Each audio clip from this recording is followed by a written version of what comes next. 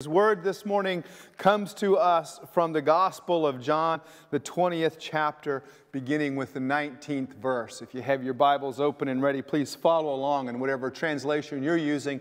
We're using the English Standard Version. On the evening of that day, the first day of the week, the doors being locked where the disciples were for fear of the Jews, Jesus came and stood among them and said to them, Peace be with you. When he had said this, he showed them his hands and his side. Then the disciples were glad when they saw the Lord, and Jesus said to them again, Peace be with you. As the Father has sent me, even so I am sending you. And when he had said this, he breathed on them and said to them, Receive the Holy Spirit. If you forgive the sins of any, they are forgiven them. If you withhold forgiveness from many, it is withheld. Now, Thomas, one of the twelve, called the twin, was not with them when Jesus came. So the other disciples told him, We have seen the Lord. But he said to them, Unless I see his hands, the mark of the nails, and the place my finger into the mark of the nails, and place my hand into his side, I will never believe. Eight days later, his disciples were inside again, and Thomas was with them. Although the doors were locked, Jesus came and stood among them and said, Peace be with you. And then he said to Thomas, Put your finger here and see my hands, and put your hand and place it in my side. Do not disbelieve, but believe. Thomas answered him, My Lord and my God. Jesus said to him, Have you believed because you have seen me? Blessed are those who have not seen and yet believed. Now, Jesus did many other signs in the presence of the disciples, which are not written in this book, but these are written so that you may believe that Jesus is the Christ, the Son of God, and that by believing you may have life in his name. This is the gospel of the Lord. Praise to you, Lord Christ. Well, as we continue on our Easter sermon series entitled The Best News Ever, the best news ever here condensed in these very few short verses in this passage from John chapter 20. And as we um, uh, as, as, I read through the different commentaries and articles and sermons in preparation, one thing became very, very clear in this, and that is that John is very, very selective in the stories that he presents to us in his gospel. In fact, if you took the gospel of John and simply laid it out on a calendar, John describes for us in the three years of Jesus' ministry, he describes for us 21 days maybe 22, depending upon how you take something, but 21 days out of Jesus' ministry is recorded for us in the Gospel of John. So it's no wonder that at the end of our passage this morning, John tells us now there were many other signs in the presence of the disciples which are not written in this book. There are lots of other things that happened that I'm not writing about. I'm just taking these 21 days and condensing them down for you in this gospel. And in this passage this morning, all of the commentators seem to agree that this is the climax, this is the high point, this is the main point of John's gospel that we get this morning in this story. Because in the Gospel of John, we see many different themes like gifts of the Spirit, signs, witness, bearing faith, the I am statements. And they're all here in this story this morning. They're all here to be found in this story that we typically call Doubting Thomas and the story of Doubting Thomas. And in this story, as we look at it this morning and as we think about the situation that we're in, it's been made easy for us this morning, or at least it was made easy for me when I gave it all C's. This sermon is all about the letter C. If we were Sesame Street, this sermon would be brought to you this morning by the letter C. And we start first off with confusion slash chaos. This is not just something the disciples faced by themselves that we read about this morning, for we know that Mary Magdalene was confused at the tomb. In fact, she asked Jesus, confusing him to be the gardener, Where have you taken him? The other women at the tomb were sort of confused about this whole situation. And remember, when the angel of the Lord appears, what does he say? Do not be afraid. Do not be confused. Do not be caught up in the chaos. The road to Emmaus. Indeed, the two that were traveling did not recognize Jesus and they were confused about what all of these things meant. His appearance to Peter and now to the ten, confusion and chaos reign. And this is the situation with which Jesus comes into. And as we look at verse 19, we are still on Easter. We're still the day that Jesus has risen from the dead. On that evening, the first day of the week, the doors being locked where the disciples were for fear of the Jews. Confusion, chaos is reigning in their lives, trying to figure out what all this means. Brothers and sisters, I can't help but read this and think about the confusion and chaos that we're in now in our culture. Do we go out? Do we stay in? Do we wear masks? How many times can I put uh, antibacterial Purell on my hands? How do I wash my hands? When do I go to the store? Will there be enough stuff there?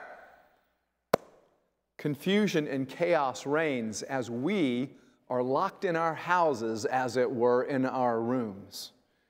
So our condition is not that much different from the disciples. And as Jesus appears, we need to hear these words Peace be with you.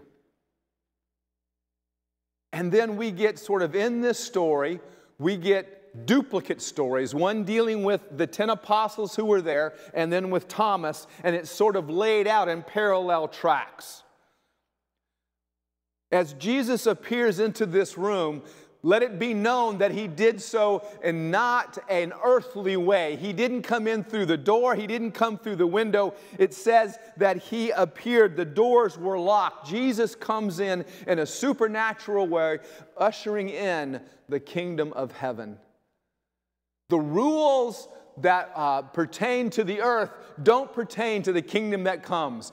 Jesus is appearing in physical form, but he doesn't need a door, he doesn't need a window, he doesn't need to be lowered down from the roof. He appears. This is a new situation. And as Jesus appears in this room, he can appear in your room right now. And through the power of the Holy Spirit, I can tell you he is. When two or three are gathered in his name, Jesus is there. That we can rest assured. And just as he begins to talk to the apostles this morning in our scriptures, he's talking to us. So let's keep that in mind as we look at moving from confusion and chaos to commission. For Jesus commissions the disciples, and he begins by saying, Peace be with you. Not the peace of the world, not the peace of a quiet moment, but the peace of Jesus, which transcends all understanding. In fact, in Philippians 4, you commonly hear Philippians 4, verse 7, this blessing, and may the peace of God, which passes all understanding, keep your hearts and minds in the knowledge of Jesus Christ. You see, this is what Jesus is offering as he comes, and he says, Peace be with you. My peace, my peace I give to you. It's a calming peace. It's a peace peace that calms the chaos and confusion of the world. And if you were, it's sort of that intention getter. I can just picture Jesus grabbing their faces and just saying, Calm down. Peace be with you. Peace be with you. Notice, we can't do anything without Jesus coming to us first, offering his peace second. And then in this commissioning, he says these words As my Father has sent me, I send you. In the midst of the chaos and confusion, Jesus appears to us. He calms us down. He says, What are you worried about? I have you. I died for you. I spread my arms on the hardwood of the cross so that all this chaos and confusion you can give to me. I've paid the price for you. And without taking a breath, and now I'm sending you out into the world to proclaim that same message. Think about that, brothers and sisters. We are not to stay holed up. We are not to stay confined to ourselves. And in this time, we are to be sent. Just as the Father sent Jesus, so Jesus is sending us. And there will come a day when we're going to be able to get outside and actually make contact with people closer than six feet social distancing. But in the meantime, we have a wonderful way that God has provided us through all this technology to connect people, to send, to be sent to them. Because we're not being sent just as messengers. It's not just about us as messengers, it's about us incarnating what Jesus has done. He has loved us before we loved him, and we are to love others as he has loved us. And so it is that we can use our time, our talent, and our treasure to reach out to our neighbors, to reach out to those who are feeling isolated, to reach out to those who don't have the hope of Jesus and proclaim his forgiveness. And that's what Jesus is talking about in verse 23. If you forgive the sins of any, they're forgiven. We can tell them that Jesus can forgive their sins, and by saying, I confess my sins to God, we can confirm to them that Jesus died for those sins and their sins can be forgiven. But if they don't, proclaim Jesus as Lord and Savior, well, there's a problem there because they can't pay for, for their sins. I can't pay for their sins. Only Jesus can. And that's the message we are called to proclaim. It's the message that Jesus proclaimed time and time again to repent, for the kingdom of God is at hand. So Jesus brings us peace in this commissioning, He gives us a message. And notice that the disciples don't realize who Jesus is. They're still kind of confused about this until he does what? Until he shows them his hands, till he shows them his side. And it's there in this physical resurrected body. I don't think there's actually holes there, but I think the marks that are there are glorious marks saying, I am not just the man you saw nailed to the cross but I am now the man who has been resurrected as I told you I would. And here I am. See? The glory of my woundedness is now that weakness that you thought was weakness that led to my death is now life eternal for you because of what I have done for you. And in that instant, they recognize who Jesus is. And so we move from confusion and chaos to commission Peace be with you. As my Father has sent me, I send you. And then Jesus consecrates the apostles, He breathes on them. Consecrate means to sanctify, it means to set aside. It means to make holy for a special purpose. And these apostles, who will be the foundation of the church, who have walked with Jesus, who have heard Jesus, who saw him die, and now see him resurrected, are to receive the Holy Spirit. Now, they're going to receive it in full measure in Acts. But I believe that this initial breathing on by Jesus is preparation for what is about to happen. It's also preparation for them to be apostles. It's also preparation for them for the next 50 days, being ready to be sent out into that community to preach. And as we hear about Jesus breathing on his apostles and saying, Receive the Holy Spirit, we can't help but think, go back to Genesis chapter 2, verse 7, as God formed Adam from the dust of the earth and he breathes life into him. I can't help but think of the dry bones in Ezekiel and God breathing life into those dry bones to come to life. And now we have this vision of Jesus breathing into the apostles. And during the next 50 days, them growing in those fruits of the Spirit, growing in love, growing in joy, patience, growing in peace, kindness, goodness, faithfulness, as Paul describes in Galatians, so that when that Pentecost time comes, they are fully, fully filled with the Holy Spirit. And instantly we see Peter preach a sermon he could have never preached on his own, a sermon that was fueled by the Holy Spirit. Brothers and sisters, as we are in our homes, as we are worshiping together, as Jesus comes into our presence and says, Peace be with you, I have a message for you to share with others. Now receive the Holy Spirit. Because without that Holy Spirit, we can do nothing on our own. Nothing on our own.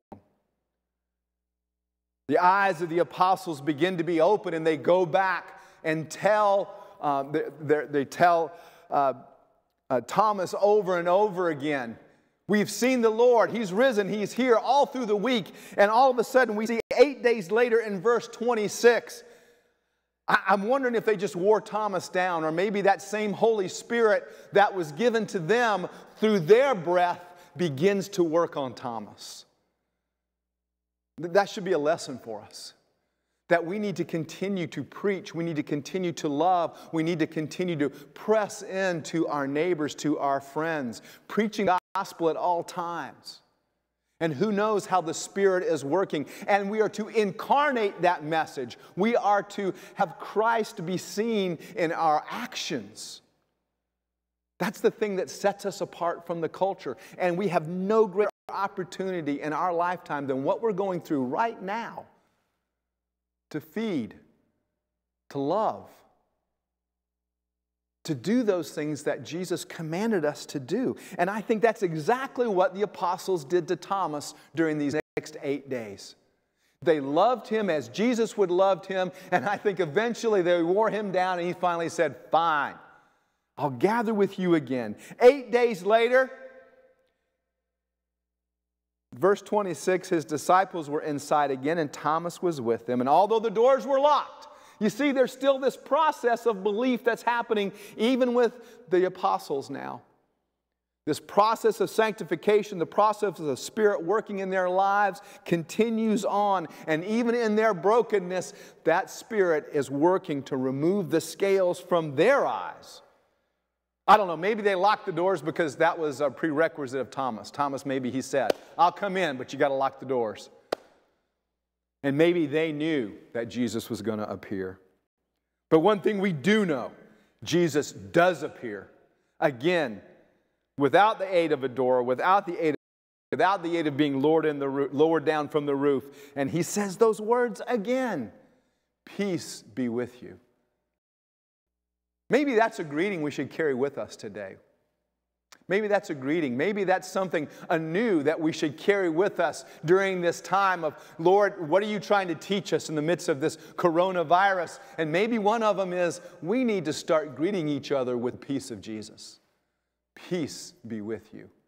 Seemed to work on the apostles and it seemed to work on Thomas. Maybe it'll work in our world. What do you think?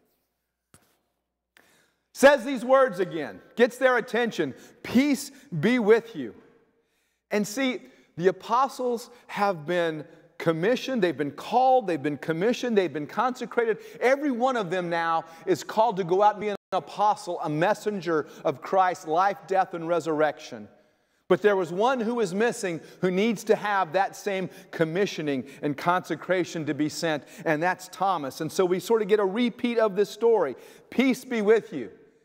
And again, Jesus shows him the glory wounds of his hands and his side. And he says, See, those nails that you saw go in my hand, those pounding of that hammer, when you thought, that's it, it's over with, whatever it is that I was going to do, whatever it is that I was believed, is gone. It's dead. It's nailed to the cross with Jesus. Jesus says, No, it's not. For what you thought was death is life life eternal in me. I have risen from the dead so that you can be with me today and forever. And here I am, Thomas. And notice, Thomas does not touch Jesus. He does not ask for an explanation. He does not ask, How can this be? He doesn't even say, Wait a minute, wait a minute, I need some time. No. No. For we have this story of commissioning, we have this story of consecration, and now we have a confession. We have the most complete confession of who Jesus is, and it's the simplest creed in the whole Bible. Without batting an eye, Thomas says, my Lord and my God. You see, the focus of this story, it's easy to be on the doubting of Thomas. But I believe that's only one side of the story, if you will. Because if we talk about Thomas's doubt, we have to talk about Thomas's confession. If we have to talk about the cross, we have to talk about the sin and Jesus dying for our sin. But we can't just leave it there. We have to talk about the resurrection and the grace that is offered. And here we get the same thing. We have the doubt, the sin, the brokenness. You know, Thomas violated one of the major things that Jesus prayed for in his high priestly prayer that the disciples would stay together, that they would be unified, but he goes off by himself. When we go off by ourselves, brothers and sisters, we are easy pickings for Satan. If you remember anything from this sermon, it's this it's that the disciples, the apostles gathered together. Gather together with your family. Don't be alone. And if you start having doubts about what's going on, call somebody, text somebody. Be in fellowship. And as Thomas comes into fellowship, Jesus appears and he has this confession. It's accurate, it's complete, and it's the point of the entire Gospel of John. Jesus is Lord and God. He is Savior, He is the Messiah. It's the point of the entire Gospel. And right beneath that, we need to hear Jesus' words. And they're words to you and I this morning. I don't think he said these words other than for us to hear them 2,000 years later. Jesus said, Have you believed because you have seen me? Great. I'm glad you believe now. But listen up, church. Listen up, those of you at home watching. Listen to these words Blessed are those who have not seen but believe. Sounds like a beatitude to me. If you go back to Matthew chapter 5, and Jesus says things like, Blessed are the poor in spirit, for theirs is a kingdom in heaven. Blessed are the meek, for they shall inherit the earth. Blessed are the merciful, for they shall believe, for they shall receive mercy. Blessed are those who have not seen and yet believe. It comes full circle. Brothers and sisters, blessed are you and I this morning not because we have seen, but because we have believed. Not because we have asked for physical evidence, not because we want to reach out and touch the wounds, but because we know what the wounds of Jesus mean in our life. And as we've talked about the C's this morning, about confusion and chaos moving to commission and consecration and confession, I want to reach a conclusion this morning with the word continuity. With the word continuity. Brothers and sisters, we have a message to preach. A message that was given to the apostles, a message they preached, they risked their lives for, they gave up their lives for, that's been passed down from generation to generation to generation, called the apostolic succession of faith. It's now being delivered to you. You have been cornered, you have been called, and now I am commissioning you. And by the power of the Holy Spirit, I'm praying that you feel consecrated and empowered to share that message with somebody today. That is the job of the church, brothers and sisters. We need to have continuity of that message, continuity of that mission. Our mission is not about staying inside and contained. Our message is, our mission is to spread that word, connecting to Christ and community. You see, Jesus needs the church. We need to be his hands and feet. In church, we need Jesus. We need his power. We need his authority. We need his spirit that he breathes into us this morning. So let me pray for that. Let me pray for that this morning. If you grab a hand, uh, if you would just sort of follow along with me in prayer. Lord Jesus, we know that you are here amongst us, for you have told us When two or three are gathered together, you are in the midst. We hear that peace, Lord, and this week, and even as we face storms this afternoon and tomorrow morning, Lord, we want your peace. We want you to be with us. We want the peace of God. We want your peace with us, Lord. We pray for that. But we also know that you are commissioning us to go out and to spread that word, to love our neighbor as you have loved us, to go out into all the world and to preach the gospel message. So send your Holy Spirit now. Church, take a deep breath right now. That breath, breathe it in, breathe in that Holy Spirit and exhale as God sends you out. And may you exhale saying, My Lord and my God. Amen, amen, amen.